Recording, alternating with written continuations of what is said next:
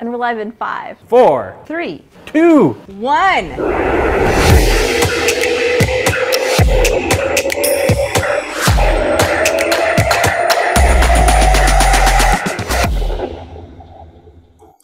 Good morning, everybody. Thank you for joining us again on this uh, cerebrovascular questions and answers that we have uh, bi-weekly. Uh, it's been a pleasure to have you all last year where we completed uh, around 24 sessions with more than an accumulative number of 40,000 views uh, with multiple speakers. We're starting this new year with uh, Dr. Peter Kan. It's a real pleasure to have you. Dr. Kan is the professor and uh, Robert L. Moody Sir Chair of the Department of Neurosurgery and Jennie Sealy Distinguished Chair in Neuroscience at the University of Texas Medical Branch. He did the neurosurgical residency at the University of Utah, where he also completed the Masters of Public Health he became a fellow of the Royal College of Physicians and Surgeons of Canada prior to starting his uh, fellowship at Buffalo. After fellowship, he joined the University of South Florida as a director of cerebrovascular and endovascular neurosurgery. Then he was recruited by Baylor College of Medicine as an associate professor and director of cerebrovascular again. His research includes uh, new neuroendovascular devices, intravascular imaging, neuroprotection for stroke, intraarterial cell-based therapy for malignant uh, brain tumors. He's board certified by the American board and Canadian board. Uh, he's very prolific in uh, academics and educational activities. So it's a pleasure to have you, Dr. Kan, here uh, as the first speaker of the year. Thank you very much. And you can share your screen. Um, can you guys, uh, let's see here. Um, just want to make sure. Can you can you guys see my screen okay? Let, uh, not yet. Not, not yet. sure yet. Not yet. Let me see here. Uh, how about now? There we go. Yeah. Yep. Perfect. perfect. Okay. Well, thanks. Uh, well, good morning, everyone. Um, thank you very much uh, for Dr. McDougall and also for Dr. Costa for the um, kind invitation. Happy New Year. I guess glad to be the first speaker of the year.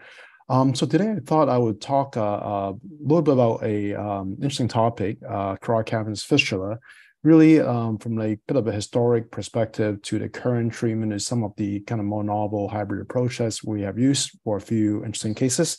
And I think this kind of highlights well in terms of the evolution and innovation in endovascular therapy in general also. So these are my disclosures, none of which is relevant to the discussion today. Um, so I thought I would start uh, by talking a little bit about the presentation and classification of carotid cavernous fistula then kind of move on to the anatomy of the cavernous sinus. Uh, apart from it being an interesting topic, I also think this is critical uh, to understand uh, in the in the treatment planning of these of these lesions. Uh, a little bit of a historic vignette about what we did in the past, uh, what we do currently now, and also you know some of the kind of newer approaches in terms of how we maybe can think of these lesions going forward. So um, as we know, uh, the classic triad of this disease is, is proptosis, chemosis, and, and visual loss. And if left untreated, you know, it can progress to ophthalmoplegia, it can progress to loss of visions. And yes, you can even die from this, uh, um, you know, often thought of as a benign disease. I mean, people do get subarachnoid hemorrhage, strokes, or even, I think, very rarely fatal epistaxis from it. So uh, the problem, of course, as we know, is the is the shunting and the venous hypertension in the cavernous sinus. Um, so why, you know, so why is that shunting? Why, why is that shunting the cavernous sinus? So this is the Barrow classification. I think that outlines that nicely. So there are kind of um, different scenarios, but all of them involve the carotid arteries. You know, so in the type A fistula, there's shunting because there's a hole in the ICA, basically causing high flow shunting uh, and high flow fistulas. And type B, C, and D, these are low low flow fistulas, really from meningeal collect, uh, uh, connections between either the internal carotid artery, like in type B, external carotid type C, or in both um, uh, the, the, type D to the cavernous sinus. So a little bit more into the type A, you know, most common uh, probably causes from high-speed trauma, uh, but very rarely I've seen it once or twice from a ruptured cavernous aneurysm, and often these patients have collagen vascular disorders. And um, and uh, perhaps the most uh, common iatrogenic causes from uh, transsphenoidal surgery, from from uh, from pituitary surgery, uh, from pituitary tumor resections. So uh, a six vessel angiogram is the gold standard for the workup. And I just want to point out some different features, different things to look for for the for the direct and direct fistula. Since for direct fistulas, you want to think about protecting the carotid or potentially sacrificing the vessel. So often I, I you know, I, I, I suggest the trainees to pay attention to to how complete the circle of Willis is and also to really understand where the hole in the carotid is. And of course, in either direct or indirect fistulas, you have to understand the venous drainage of the cavernous sinus to treat them. So for the indirect fistulas, again, six vessel angiograms and pay more attention in this case to the ECAs because often either through the accessory meningeal or the middle meningeal, uh, you have supply uh, to these to these fistulas, you know, and of course, like we discussed previously, that the venous drainage is uh, key to the to the treatment. So um, really, I think the concept of the treatment is, is fairly simple. You basically have to block off or coil off or, or obliterate the uh, the cavernous sinus at the point of the fistularization. The difficulty often is the execution of this. This is not sometimes not so trick. Uh, is sometimes a bit tricky, as we'll see in some of the example cases that we'll show. Um, but before that, we have to really understand the cavernous sinus if we want to kind of get to it. So the cavernous sinus uh, is on either side of the sphenoid bone, um, and and actually um, rather than than it being just a continuous uh, venous pocket, as often shown in, in, in, in, textbook drawings, it's actually like a fairly complex trabeculated network in most in most cases. Uh, they're connected medially um, through the circular sinus. You see the circulus venous structure here. And um, this is why people have epistaxis. You know, the pterygoid uh, plexus in the nasal cavity is, is an outflow, you know, of the cavernous sinus through the pharyngeal valley. Um, but in terms of access, I think this is where the, the, the, important anatomy begins from the craniofacial vein. So the superior ophthalmic vein is often an excellent route to access the cavernous sinus as depicted here. The inferior ophthalmic vein, although smaller, uh, but often, you know, uh, uh, it's not a bad route too to get to the cavernous sinus posteriorly. And of course, these two veins joins at the orbital uh, apex right, right before entering the cavernous sinus. Um, the superior ophthalmic vein, you can get to it with direct access, as we'll show some cases later. Uh, but also you can get to endovascularly, you know, through um, the uh, um, the interjugular vein, uh, through the angular vein here, you can see which connects the um, um, anterior facial vein to the superior ophthalmic vein. Just for completion's sake, we'll also show the posterior facial vein, also known as the retromandibular vein, on the deep facial vein that con connects the pterygoid plexus to the anterior facial vein. Now, uh, we talk about the SOV, the IOV um, as uh, as routes, you know, to the to the uh, uh, cavernous sinus. Uh, there are other excellent routes. The superior petrosal sinus is a good one. You know, through a transsigmoid junction, transvenously, you can get to the cavernous sinus. And perhaps a workhorse, the one that I think I and most people would try first is the inferior petrosal sinus. So this is the one that we use for petrosal sinus sampling, and I think it's excellent. Usually the first the first line approach to the cavernous sinus here. And uh, finally, the sphenoparietal sinus, something that we see from a cranial uh, approach, uh, frequently also drains in the cavernous sinus. And uh, we can think about kind of accessing the sphenoparietal sinus through through sylvian veins, in this case, the superficial middle cerebral vein. So through the superficial middle cerebral vein, sphenoparietal sinus can also get to the cavernous sinus. So a little bit about uh, the historic vignette. Um, so originally, as you would suspect, since these are all ophthalmologic presentations, mainly ophthalmologic presentations, that was thought to be a disease of the orbit. Uh, and Benjamin Travers, a British um, uh, surgeon, was the first to try to tackle this this disease, and and I think it's an important first step. But he was trying to do kind of proximal ligation and proximal occlusion type of approach. So he found that proximal compression helps. And he actually, with anesthesia, did the first carotid ligation for this disease and find that it helps alleviate the uh, the symptoms. Uh, of course, later on in autopsies, people realize that the disease is actually intracranial and it's not in the in the orbit. Um, but without kind of cranial approaches, they're really limited to, you know, as you can see here, to still only kind of carotid uh, compression, which you kind of still talk about in textbooks these days, using kind of the the uh, contralateral hand to compress the carotid. So I think the next big leap comes from Walter Dandy. You know, so uh, he, um, you know, with craniotomies and clipping of aneurysms uh, at, at, Hopkins, he he realized that he can trap these these uh, fistulas. You know, so apart from just putting a clip on or, or tying off the carotid in the neck, you can also kind of tie up the carotid distally, uh, distal to the rent or the hole in the carotid, uh, intracranially proximal to the posterior communicating artery.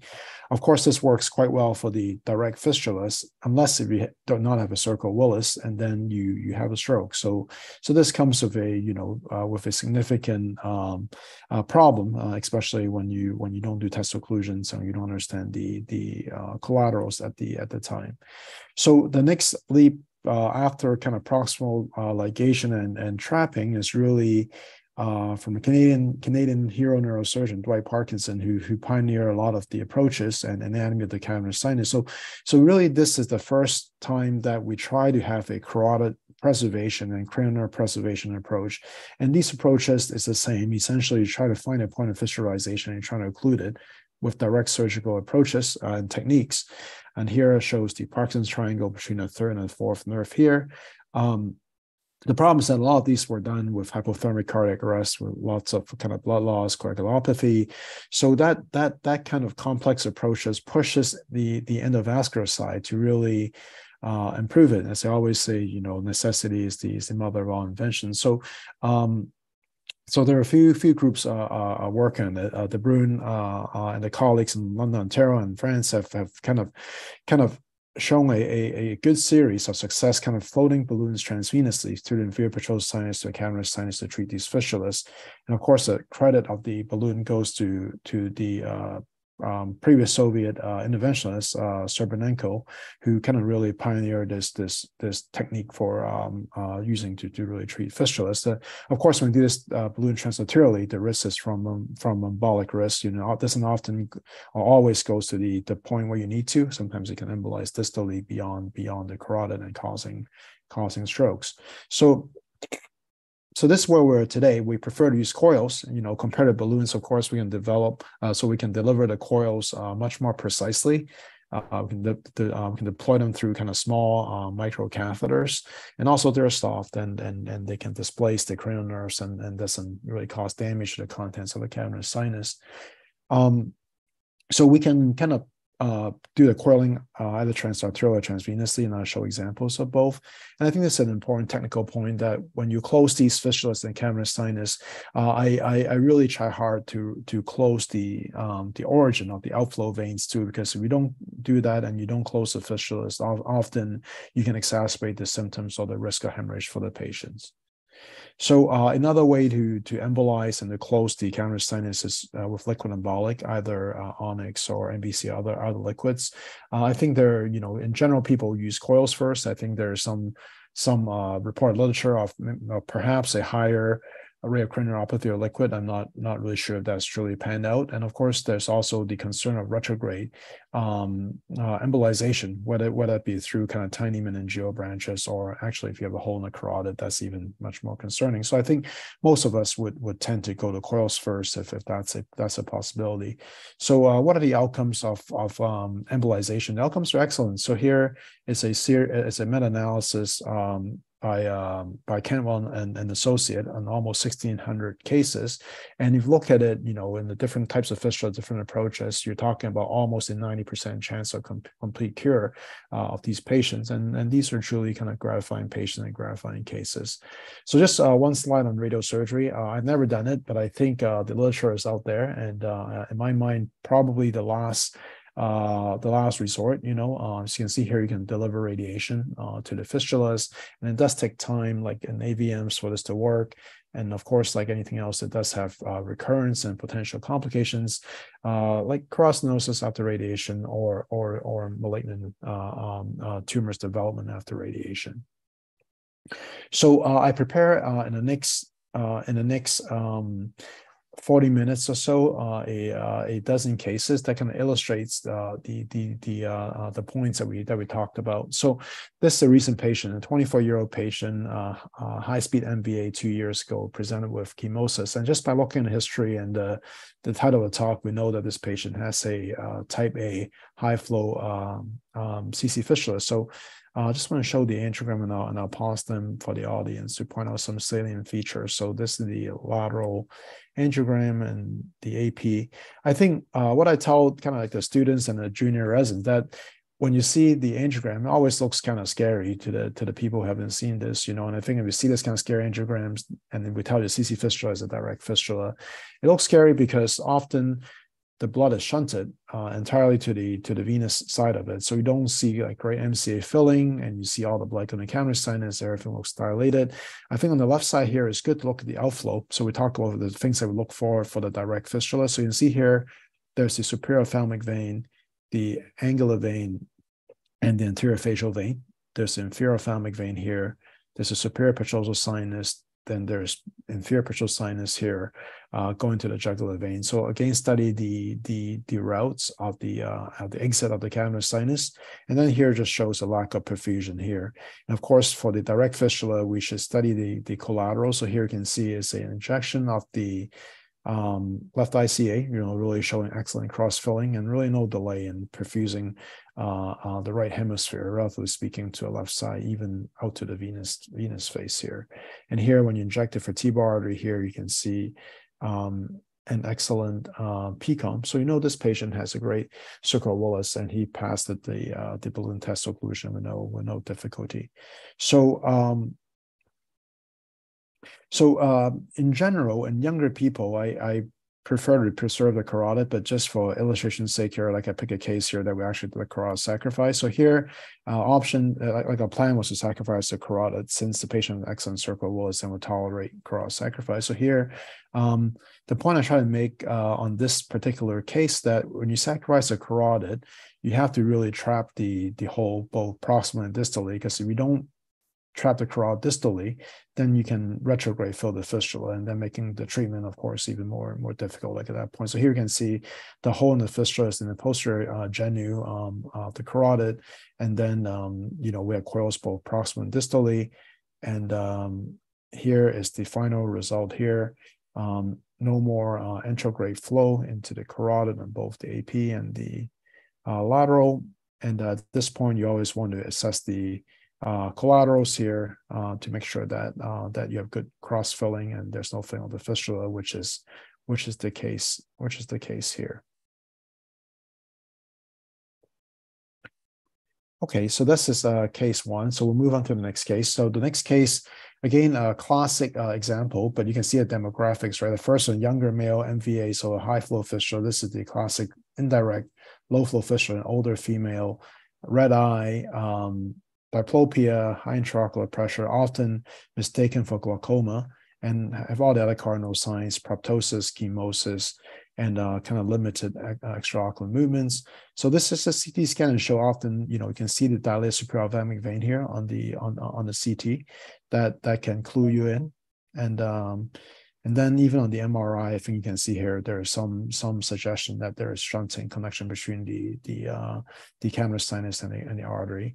And the the diagnosis is clinched on the angiogram. This is a left ICA injection, and you can see here there's um, cavernous uh, uh, connection, probably through the meningohypophyseal trunk um, to the to the um, uh, to cavernous sinus, and the drainage is is retrograde through the superior ophthalmic vein uh, angular vein uh, and down to the anterior facial vein.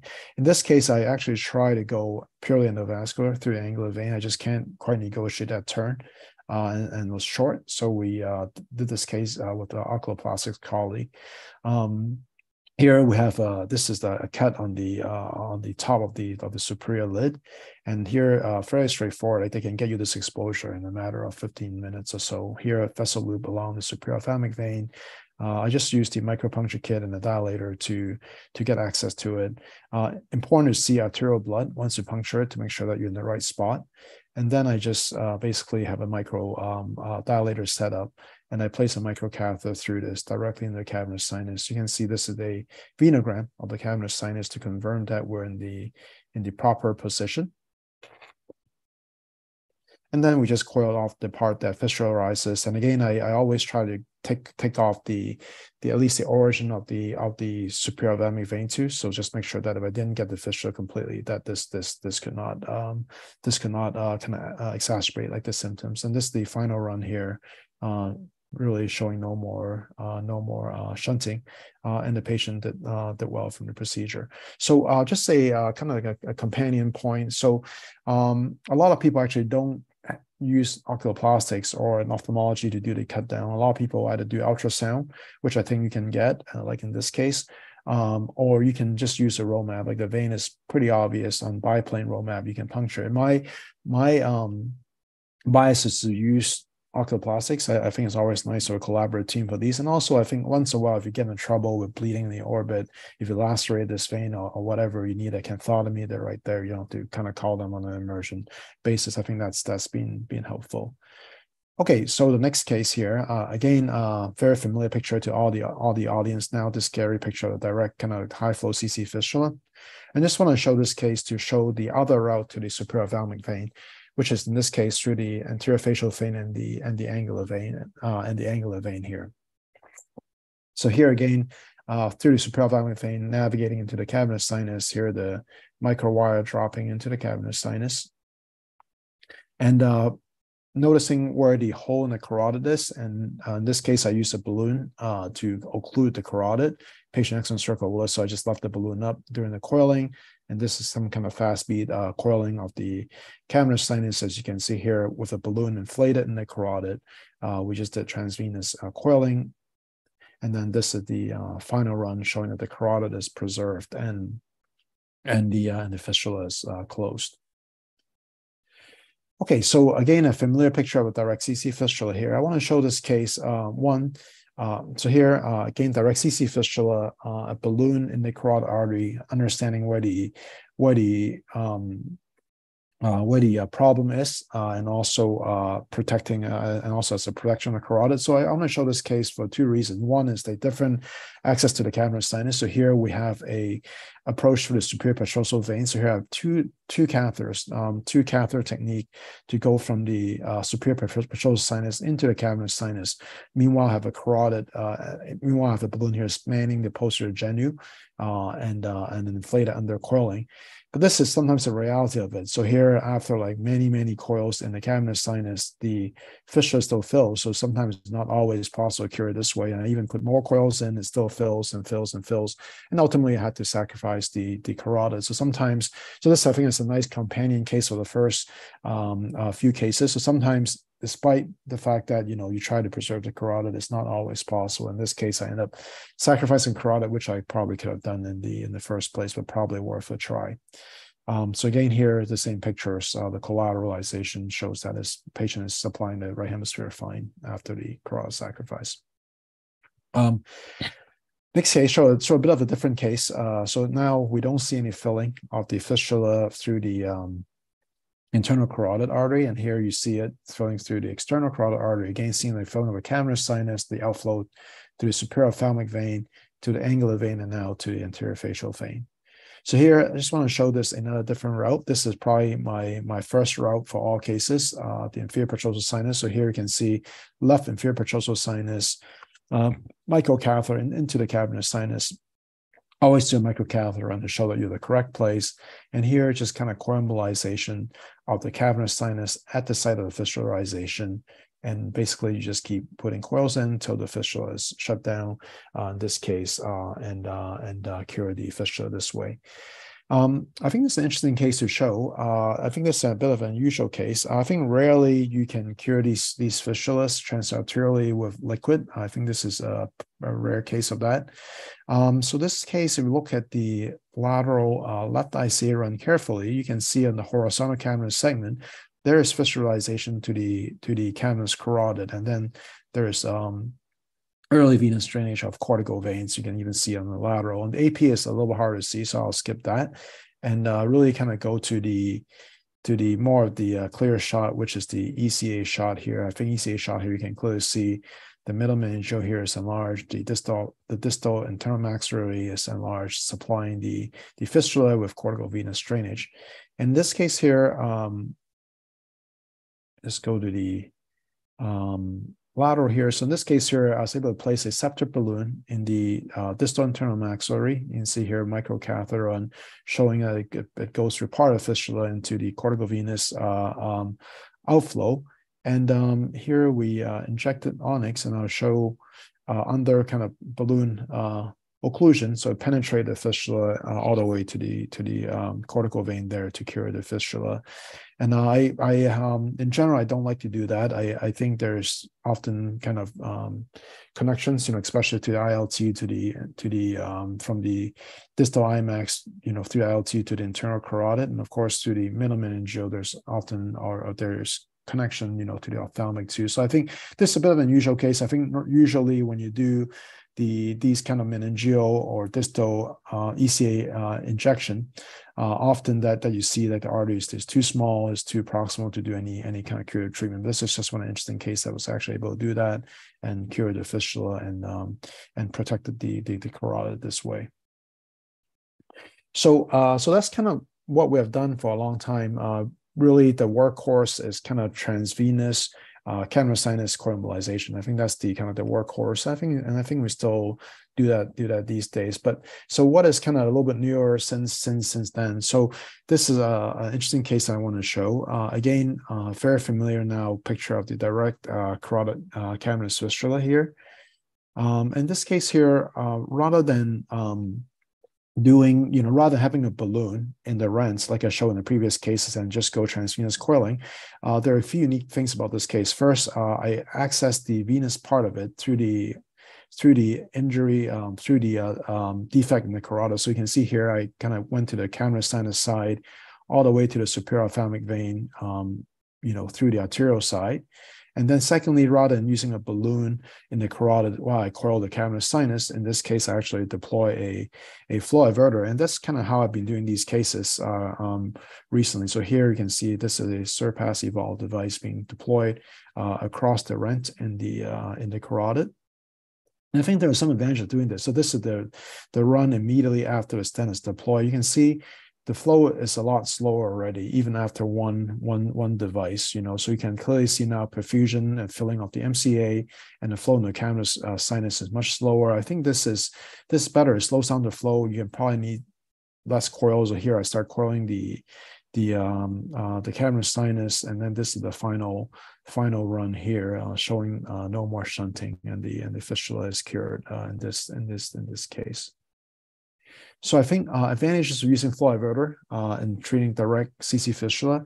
Um, you know, and people with intact cervical Willis, I think putting a balloon there for the case, not a big deal, but it allows carotid protection without flow arrest. I think that's one advantage. Uh, it, as you can see there, even after one stent, you get a significant, I think, flow diversion effect, effect. And I've seen this in a few cases now. So I think you can probably use less coils if you were to, were to, were to do that. And I think finally, uh, in the long run, this gives a nice scaffold for healing of the carotid. Unlike you know, the case that I showed previously, that you just have a balloon there, you close it off, then the carotid is just basically healing over raw coils. So here it has a nice stent and a nice scaffold for, for healing. Um, so in the last uh, bit of the talk, uh, I just want to talk about kind of surgeons. I think these are cases that kind of really interest us. So uh, all the cases I've shown so far, the first the first few cases, they all have an endovascular route or access either to the fistula or to the cavernous sinus. So what happens if, if, these access don't don't exist? So I want to talk about kind of hybrid approaches. Of course, the the um, the problem and the solution is not new. So this is a report from London, Ontario, uh, way over a decade ago. This is an interesting case that the only access to the cavernous sinus is really through the sphenoparous uh, uh, through the superficial middle cerebral vein. So in this case here, no endovascular access. They had to do a craniotomy and then they direct puncture the, uh, essentially like the sylvian veins, and then they put a microcatheter uh, there, and then the rest is, is pretty standard, like we showed in that in that case of the of the orbital cutdown. Um, so since then, we've done a few kind of uh, uh, uh cases. Uh, we published a, a, few of our of our of our cases. So I just want to show show a few of them. So. Uh, so this here, uh, I'll show this this case. So this um, this case, uh, kind of a, a, classic example of an elderly lady with a indirect CC fistula affecting the right eye. You can see the proptosis and the chemosis here. Uh, the CT already kind of hinting there's there's some problems in the cavernous sinus uh, on the right side. And here, a very typical uh, angiogram appearance is here you can see a contralateral kind of meningeal supply from the ICA to the to the fistula. Um, let me just and and here kind of kind of meningeal supply from the contralateral uh, ECA. And again, this is a common scenario like we talked about. Often the meningeal supply is too small to be able to get distal enough to do any kind of arterial embolization. Um, so uh, in this case, I, I just started a venous draw as I always do. So here, the right IJ unfortunately is occluded. So I went uh, left IJ, left IPS, and got into cavernous sinus. But unfortunately, the the there's no connection between the cavernous sinus and this uh, and this uh, fistula pouch, as you can see here. So um, in this case, like a surgeons, you know, look back at a CTA, fairly, you know, reasonable access. So this is access that we use for pituitary surgery. So here we did an endonasal endoscopic transsphenoidal access and we basically took off bone on the on, on the sphenoid and you can see here this is the navigated uh, trajectory or essentially after remove the bone you're right onto the venous pouch here. Uh, and uh, in this case here this is the needle um, directly uh, puncturing it and I'm just going to show that this is a long spinal needle um, my hand in the field getting radiated and then the here onyx uh, injection. Uh, and then we have a a radio um, uh, angiogram in the hybrid room to basically document cure of the of the CC fistula. And um, this is a nice picture to show that the the ophthalmologic symptoms usually come down pretty quickly, and in, in the seven days, your eyes are really much much better and almost normal. Um, just want to show like a sister case that that that, that recently here. Uh, again, good to illustrate the presentation. This is an interesting case. Seventy three year old woman uh, came in with kind of mild right sided weakness, and she had this kind of small uh, deep um, kind of kind of basal ganglia hemorrhage I think you know she has hypertension. Maybe some of us won't even get a CTA. Now, I was lucky because she came with a history. She has a CC fistula that was, that was unsuccessfully treated before in the past, so I kind of knew that maybe a vascular cause of this. So we got a CTA. You can see here, apart from the uh, fistula, you can also see there's a venous varix on the right side. That was the source of the hemorrhage. So here, these are the onyx uh, from prior embolization. Uh, so very similar to the last case, right? Here we have kind of meningeal supply to the fistula from the contralateral uh, carotid and, and also the ipsilateral uh, internal carotid artery here. Um, this is the venous varix on the angiogram that corresponds to the site of hemorrhage. Um, and uh, again, I, I always try from the IPSS, uh, and often these cases, unfortunately, there's no connection to the to the to the normal cavernous sinus to the fistula part. And um, in this case, like I actually even try, I'll, I'll just pause this here for a second. I, I even try to go re- retrograde uh, to see if I can catheterize the venous varix, but unfortunately, there's a very tight turn rate right between Rosenthal and and the and the enophthalmic, so I just can't get into it. So you can see here, like the the catheters are just buckling. So I so I gave up, and we and we did the same thing. Went to the OR here. We just went uh, transsphenoidal um, our, our, second time doing it. So we use a biopsy needle. Uh, we use some very short uh, uh, tubing with very small uh, dead space, so we can we can. and, and, actually, this tubing is very DMSO resistant. That the DMSO didn't, melt the tubing, and very small volume, so very small dead space for DMSO and Onyx. And here we uh, again uh, navigate it. We use the AxiEM system. We we navigate it to the to the point here. We just did all the bony removal and uh, here, uh, again, intraoperative angiogram, so we do control run showing the fistula. And uh, here we we directly uh, injected it. You can see here the puncture, um, venogram here, onyx injection. See like the black the black substance coming out of the uh, of the of the needle, and then the scopic view. And here we have the onyx onyx injection casting that that pouch. It's a little hard to control. I, I I try to stop as quickly as I can once I saw the varix, but still some when when distally. Uh, fortunately, didn't didn't cause any harm to the patient. Here you can see actually the onyx refluxing out of the of the needle uh, into the into the sphenoid, and um, uh, here um, of course, the, the, bleeding stops once you uh, close the fistula here, and here is a is a run showing the the fistula is completely closed. So um, he's actually even did a more interesting case recently. So how about if the fistula pouch is at a at a different place? So how about if the fistula pouch um, um, is um, um, behind the carotid? So so I'll show this this case here. We present so I'll so I'll I'll do it this way so we don't we don't hear the the the, the narration. So uh, here you can see another classic example. The right eye is swollen, is uh, and you see here the fistula is actually behind uh, the carotis, behind the posterior genu. So this one is actually uh, not possible to access through the sphena, like we showed in the past a uh, couple of cases. So I was kind of thinking, well, what are the options? You know, can we get started in a endovascular route? So if you look at the microcatheter run here, this is a a, a good run. I'll, uh, I'll just pause this and go back to this microcatheter run here. So you can see here, this is the isolated posterior part of the cavernous sinus. Um, you know, the the cortical vein that comes into it has a stenosis. So there's really kind of no access to it. And uh, this is a superior ophthalmic vein that's thrombosed. There's no um, IPS that I've, I've, I've tried to interrogate it, and there's no superior petrosal sinus. So there's really no endovascular access to it. So I was even thinking about maybe doing a kind of Dolenc kind of approach do an extra extradural cavernous um, uh, approach to the cavernous sinus and maybe just directly uh, inject it once we once we navigate and, and find it. But then my my my partner, my my functional epilepsy partner, say, hey, why don't we try to directly puncture this with with with the Rosa? So. Um, so that's and, and, and what I end up doing is this the Rosa robot, as we know, the the system that we use to place stereo EEG in neurosurgery. Um, so here we register the, the robot. If we can use any kind of stereotactic system, it's, it's the same. So this is our this is our planned trajectory. Um, we actually plan to go transtemporal.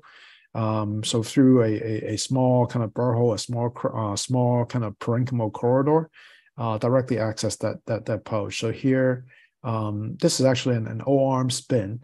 Uh, after we put the needle in, we just want to. It's the first time uh, doing it. So we just want to make sure that needle is not way off when we before we puncture. So this is the uh, the O arm spin. So this is just the the the workflow it. The the Rosa robot uh, here is when we uh, drill the hole in it, and the bolt is very small. The bolt is only a seven millimeter bolt, and then here we we we place the needle through it, um, and um, and uh, confirm uh, position before we do the injection. So I'll, so I'll play the rest of this out here, and there'll be the narration here too. So let's let me just play this rest of this out here. The Chiba needle was advanced to the fistula, demonstrating clearly here with lateral view. Under roadmap guidance, the needle punctures the fistula and back bleeding was observed. So here we're directly puncturing the cavernous sinus through a transtemporal uh, corridor. Here, obtained by injecting contrast. So here is our, is our venogram. So we just want to make sure that we're in the right pocket with this transcranial puncture. And then this is uh, a balloon inflation in the carotid just to protect the carotid from retrograde injection. And then this is the actual uh, onyx uh, onyx injection. We can play it here. Via the Chiba needle.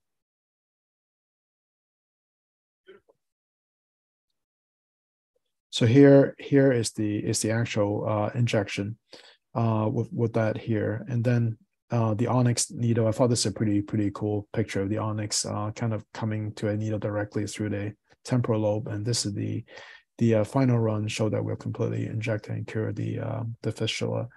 Um, so uh, just uh, one last case uh, before um, before we uh, stop. So not everyone who presents like this has a CC fistula. Um, there are some CC fistula mimics that we should pay attention to, and I want to show a case of an orbital fistula. So this is case we can see here same presentation, uh, left-sided chemosis, proptosis, and if you look at the um, the CTA, it's very interesting. You can see this is a dilated superior ophthalmic vein, and it goes to towards the back um, to the orbital apex, and then it connects to the inferior ophthalmic vein and to the fistula. And you can see the ophthalmic artery there is is dilated. And I'll and I'll show the angiogram that would illustrate that a lot a lot better. So, um, so this is the lateral magnified view here. I think it really shows the fistula well. So this is the fistula from the ophthalmic artery. So this is the ophthalmic artery going towards the, the, the fistula and fistulizes with the inferior ophthalmic vein first, and then it drains backwards to the orbital apex.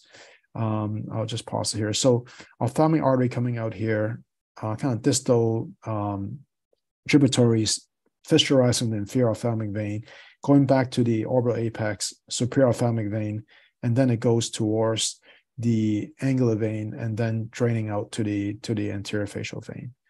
Um, so uh, in this case, and I think also here the Dyna CT shows it very very nicely. So this is the fistula pouch, inferior ophthalmic vein, orbital apex, the enlarged ophthalmic artery, and then the superior ophthalmic vein coming out to the ang- uh, to the angular vein. So here uh, we we first attempted the uh, transvenous route. Um, through the uh, anterior uh, facial vein, angular vein, and the uh, superior ophthalmic vein. So you can see here have a microcatheter all the way to the inferior ophthalmic vein uh, here. Unfortunately, in this case, when we close the fistula, we actually end up missing the the critical part of it. And you can see here, this is where the where the mistake is is, is made here. So here we we had the coil embolization, um, but the coils didn't really quite get far enough to the anterior part of the of the inferior ophthalmic vein. So basically, unfortunately, lock ourselves out of the access uh, without without curing the um, the fistula in this case. So uh, the only option at that point is, is really a direct puncture. So in this case here, we took the patient to the OR. So here's our setup. Uh, we used the stealth um, hybrid OR. Uh, have our uh, ophthalmology colleague make an incision on, on the on the orbital um floor, and then we just basically navigated it and directly puncture the rest of that pouch. You can see here is the this navigated puncture we directly puncture it, we injected it. And this is the uh, venogram here uh, showing that.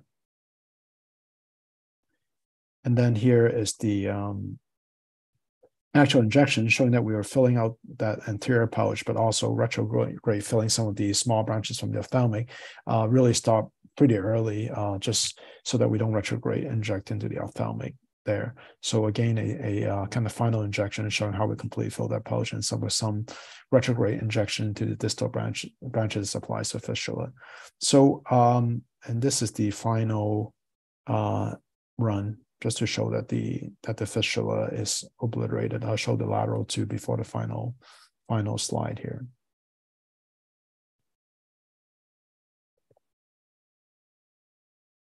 So uh, in summary, um, uh, uh, endovascular therapy has really become the main um, one, two, three treatment modality for both direct and indirect cavernous fistulas, whether it be coils, liquid embolics, or the flow averters. I think fistulas, you know, patients with any, uh, I think the symptomatic fistula, either from ophthalmologic symptom or from hemorrhage, should be treated urgently.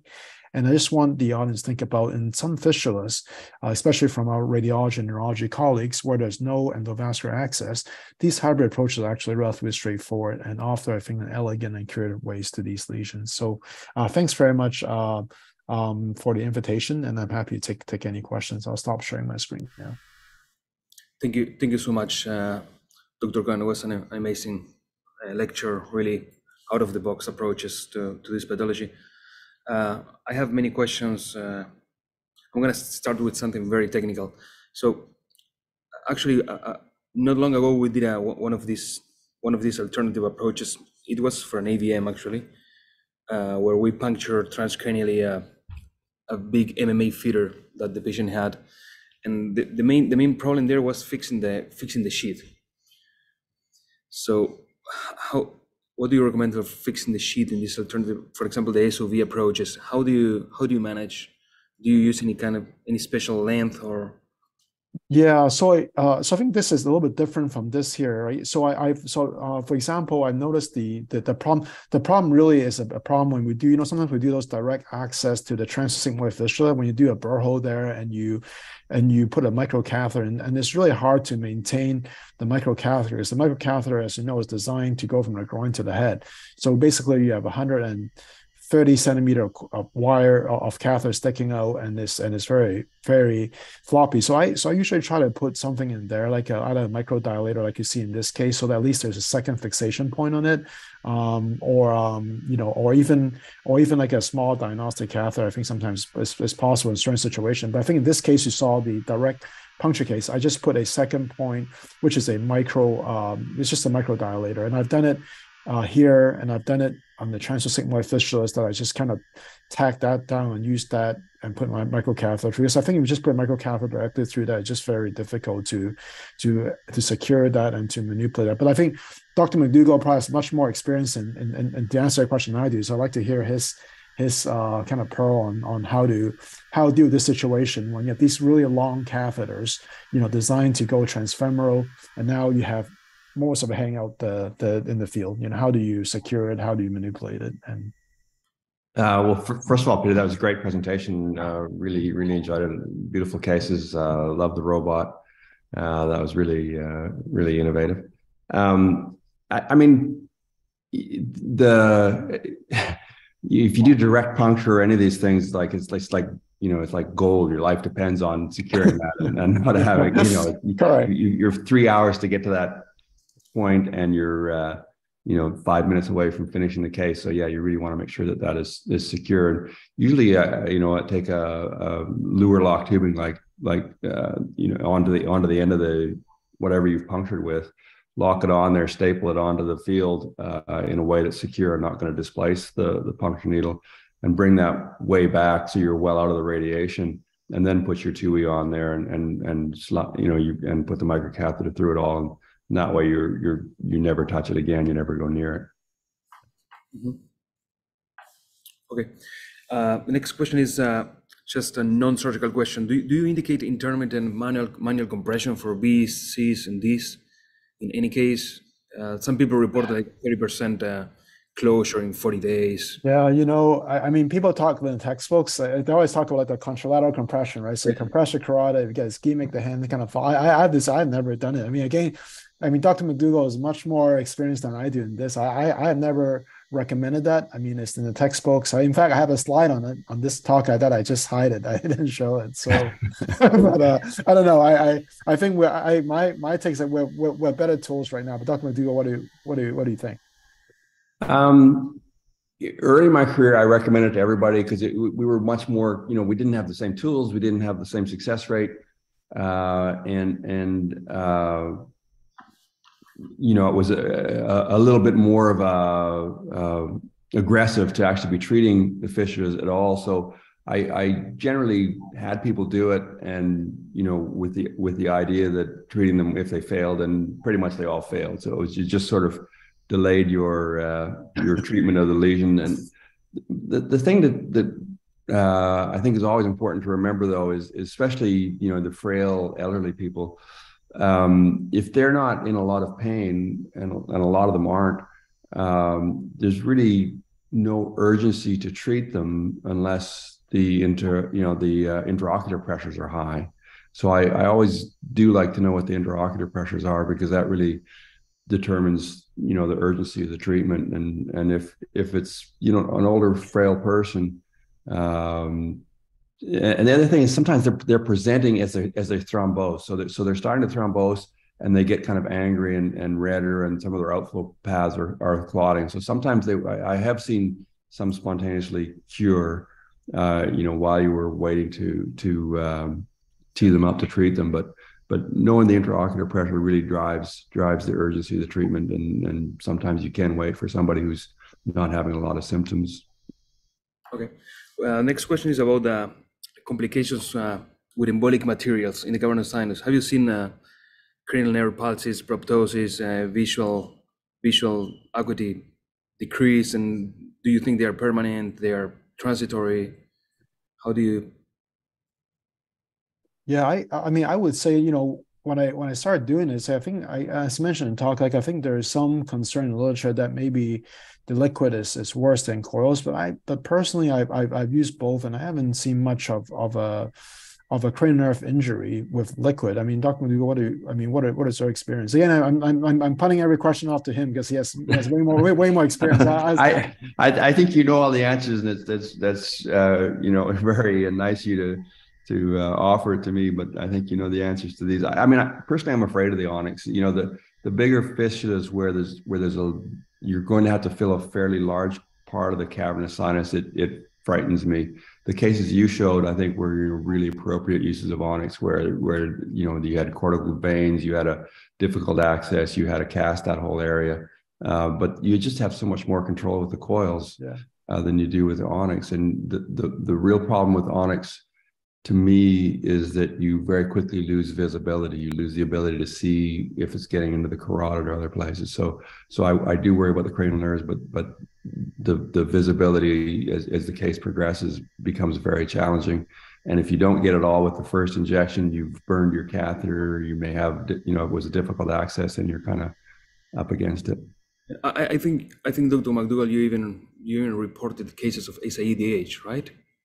With Onyx we, we, did, yeah. That that was a kind of weird case. I forget the details of it. They ultimately resolved, but but yeah, that was that was early on, and certainly uh, gave us some pause about it.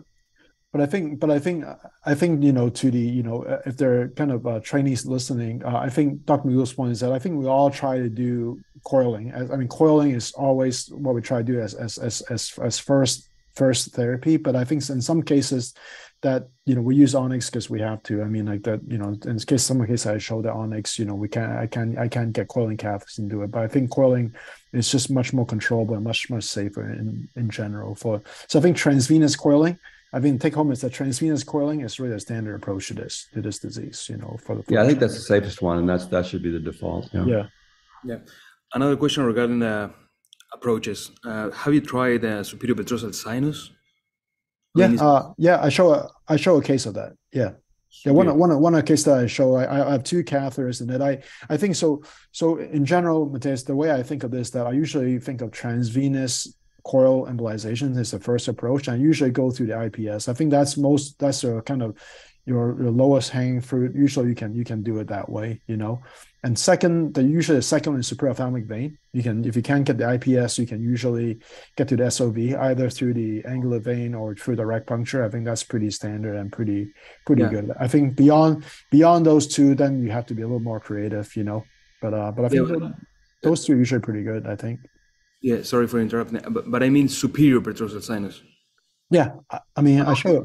Yeah, I showcase. I, in fact, I can. Can you still see my screen? Okay, or I stop sharing my screen? I you stop sharing, but okay. Stop. Yeah, I can can quickly quickly show yeah, that. People say that they are, you know, they are. Can you can you can you see the screen? Yeah, okay? we can see it now. Yeah. Okay, let me just see. I can just quickly go back and show you the one the one the one case that I have there. Um, your uh let's see yeah this is the one this is the case here you can you, you can see here Matias this is the case here you can see here it's, it's two catheters through the superior petrosal sinus into the cavernous sinus yes right but I, but I but also said it didn't work. Unfortunately, in this case, I ended up sacrificing the carotid. So this is sometimes what happens. You know, you try to go that route, and you, you know, I, I think now the flow diverters and other things maybe is, is is better. But this is like an earlier case. So, okay, uh, there are a few, few, you know, reports and papers, uh, especially from the Jefferson Group. There's a review on uh, off-label use of flow diverters, where they mentioned the flow diverters for CC fistulas and the you mentioned that you had some experience with it, and especially to protect the carotid. Have you used multiple flow diverters, like stacked? No, I, I, I think. I mean, in my mind, the the the the, the curative treatment comes from a transvenous embolization. Like this, this stent in the carotid is really to to add some flow diverting uh, effect to it to allow to give a scaffold for healing you know to uh, to protect the carotid it's not you know i i don't i don't think stacking the the these stents you know they're expensive i mean stacking these stents and carotid is really going to cure this i mean I mean, we'll be here interested to hear what Dr. McDougall's experiences too. I mean, do you? I, I mean, I, I don't think stacking stents is going to help. I I inherited one of those cases uh, with with the had, had some transvenous coiling and then then flow diverters placed after and fissure was still there. It was just it just became an enormously difficult problem. Uh, ultimately cured transarterial onyx, uh, but it was it was yeah. I, the the trouble is you're committing to antiplatelets, uh, so you're not you know uh, with the flow diverter uh, and if it doesn't cure the fistula, then then you're it's a real difficult problem. So, so Dr. McGill, would, would you say that so uh, so for the direct fistula, you know, so I so I, so I show a couple of cases, and and before before I use a flow I used to just put a balloon at across the rent, you know, and I just do transvenous coiling that way. That that's my preferred treatment and yeah. I and, and if I can cure it that way, uh, I will. If, if I can, then I sacrifice a carotid. That, that's what I used to do. But now with the FD, I just put the FD in, and I one FD, and then I do transvenous coiling. Like, I mean, do you do you think even that is too aggressive, or should we just do just balloon and and I mean, just because to your point that, that the problem is that if, if you if you don't get it, then you're on the antiplatelet therapy. It makes it makes everything more complex. But I but I do think maybe there's there's some benefit of that too. So I, I just don't know where the balance is. Which would like to hear kind of your your your thoughts on that. Yeah, I I, I think that um, you know, fortunately, those cases are relatively rare. Uh, you know, you want to know ahead of time are do you have the option of sacrificing the carotid first of all? You know, uh, so that's that's always important to know. And then um, you know, if you can preserve the carotid, that's a big win. So I so I'm certainly in favor of that. I think I think it probably is better to have something temporary uh, that that you can change later, like like a balloon or like a, a retrievable stent or something to, to protect you while you're coiling, just so you, so you don't get coils in the carotid again. Visibility becomes hard as you pack the the coils around there. Oh, maybe um, maybe use so. Yeah. Sorry, yeah. So I think so. I think I mean I think there's there's trade offs. I mean the nice the flow divert is certainly a nice way to protect the vessel, um, and and you know and the, you always have the bailout of closing the carotid if, if they've passed the test occlusion or you know if if if you have a big direct and you're not seeing any intracranial circulation obviously they've already passed the test occlusion if they're if they're still intact so um, I, if you can save the carotid with the flow diverter i'm certainly not opposed to that but i think you you just need to be really thoughtful about you know what your plan b is sure okay. Uh, one more question. How often do you see these uh, CC fistulas that present with ICHs? I mean, I have seen just a few in the literature, and you know, these ones that drain posterior. And have you seen only that case or you, you have seen more? I mean, I show one. I show one case here. You know, uh, that that from venous varix, I get hemorrhage. I've, it's pretty rare, but I but I've seen more in one case. I mean, I, I I think of course the most common symptoms is the ophthalmologic symptoms. You know, but I, I I've seen a few cases with with intracerebral hemorrhage. Okay. Yeah, I, I think that's that's just you know a function of of um, what outflow pathways um, thrombose because you know you see patients thrombose their uh, superior inferior ophthalmic veins and everything get redirected posteriorly and those are the ones that bleed and you so it's not it's it's a less common presentation because the cavernous sinus is so you know rich in the way that that there's egress for the venous blood but but if if those pathways thrombose then certainly they can be just like any other high risk uh, dural fistula. Right we have a few questions from the chat now. Uh, one of them is uh, if you had ever experienced a trigeminal cardiac reflex with uh, with a dmso on the cavernous sinus? No. No. And the second one is you spoke about radiosurgery, but yeah. if you had to, what is your experience, yeah, or you had any cases sent? I've, I, I mean, I've actually never done it. Dr. McDougall, have you ever treated one radiosurgery? I've never treated CC fistula radiosurgery. Like I know the literature is out there, but I, I've never done it. In in my very first few years of, of uh, practice, I treated, I sent one for radiosurgery, and I regret that. I think I think I think a take home message is for the trainees that I, I I think you know radio surgery is really the last last resort. Like you try everything else, nothing works, and you you must treat this fistula for whatever reason. I think that's probably reasonable.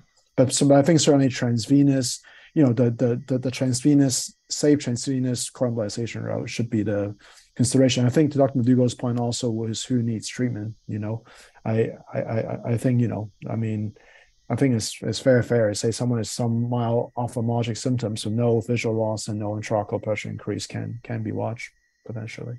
I have a, a question from for myself also. Uh, how, I mean, after diagnosis of a direct of type A, Barrow A, uh, how long you wait to treat? I mean, you do it as soon as possible, or I mean, what is your maximal waiting time? I mean, I don't think the right. I mean, it's it's just it's the same thing. I think if people don't have visual loss and they don't have, you know, they don't have severe high intraocular pressure, you don't have to treat them emergently. But I usually I I I try to treat them relatively expediently. I I don't come in the middle of the night to do them, or doesn't mean you're done maybe first thing tomorrow. But I think I, I usually treat it fairly quickly. But you know, but as but I but I think you know if they don't have those those problems, like I mean, the first case I showed like the the the the the young man came back two years later and i mean and his symptoms are fairly mild actually. You know two years after the accident and he has a bit of a swollen eye and his ocular pressure a little bit high but not but not terrible. So even after two years they're they're could be okay. How about how about how about you guys? Dr McDougall, how how often do you do you treat the fish when you see them? Yeah, no, I I mean, if they're coming to the you know the ED with a you know, after a car accident or the rare aneurysm that's ruptured, I mean, I'm I'm going to treat them that hospitalization. But it, like you say, if the eye's not at risk, the intraocular pressures aren't through the roof, then then there's no, it's not an emergency. Yeah.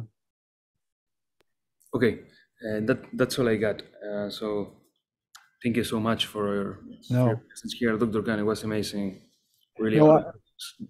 No, thanks. Thank you, everyone. I, I guess I'll, I'll just make one final uh, technical point since since I know there's there's a lot of trainees on the on the audience. Is that it happens to me before? I said the, the, these are the, the things that I regret in training these these cases. So I think one thing is when you get the access to the to the to the point of visualization, right? Like Dr. Gill said, it takes hours sometimes to get there, right? And you have to really make sure that you densely pack that. Like I mean, when I first doing it, you know, you take a long time to get there. You you got there and you just get kind of relaxed and you pack it because what happens if you don't get it completely?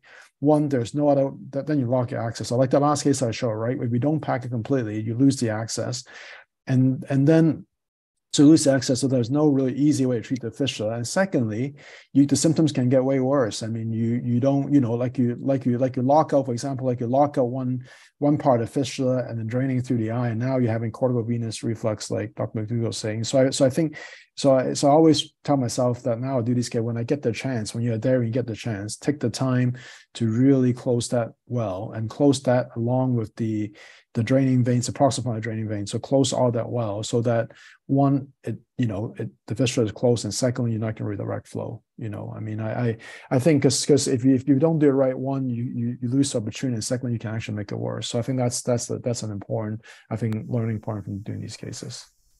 Yeah, great, great points. Ne- never gets easier than the first time. Yeah. Well, thanks everyone. Thanks for the Thank you so invitation. I. Yeah. really really appreciate that. Have a, have a good morning and happy New Year. Yeah, thanks, thanks for the presentation. Really enjoyed it and great seeing you. You take care. Thanks. Take care. Bye bye. Thank you. Bye.